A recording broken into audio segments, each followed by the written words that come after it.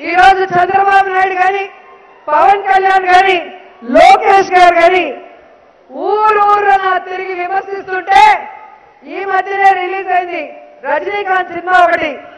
ఆ సినిమాలో డైలాగ్ నాకు గుర్తొస్తుంది. మొరగని కుక్క లేదు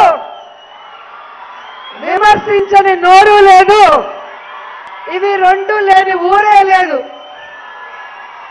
తమిళ్ళో చెప్పేదా మన వాళ్ళు ఉన్నారు? கொலைக்காத வாயும் இல்ல. சொல்லாத வாயும் இல்ல. இது ரெண்டும் இல்லாத ஊரும் இல்ல.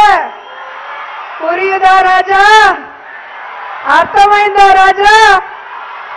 సో ఈరోజు பவன் కళ్యాణ్ எந்த విమర్శించినా